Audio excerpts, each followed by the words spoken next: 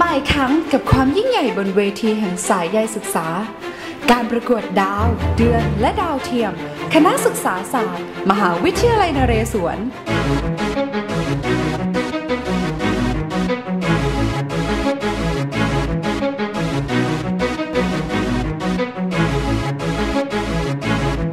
ใครจะเป็นที่หนึ่งในใจคุณ